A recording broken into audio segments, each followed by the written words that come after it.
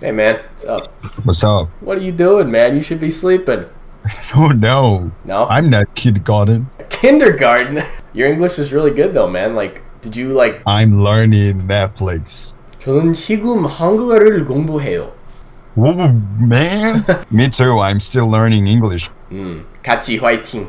I.